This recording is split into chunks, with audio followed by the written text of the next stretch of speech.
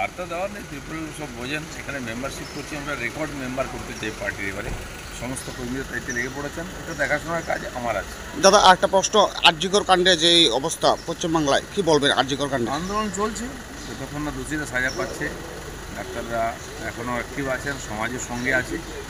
এই ধরনের ঘটনা না হোক সেজন্য সবাই মিলে একসঙ্গে লড়াই করছে। ত্রিপুরার একজন ব্যবসায়িক অপহরণ কাণ্ডে জড়িত পশ্চিমবাংলার একজন তৃণমূল? পশ্চিমবাংলার যে আইন শৃঙ্খলার কী অবস্থা এই ঘটনা থেকে বোঝা যায়। এটা খুবই লজ্জার বিষয় এখান থেকে ব্যবসায়ী যাচ্ছে আর টিএমসি একজন কাউন্সিলর থেকে অপহরণ করে নিয়ে যাচ্ছে সারা পশ্চিমবাংলা আইন শৃঙ্খলা এরকমই আছে আর আর্যিকর ঘটনাটা তারই একটা ঘটনা তার জন্য সারা সমাজের বিরুদ্ধে লড়াই।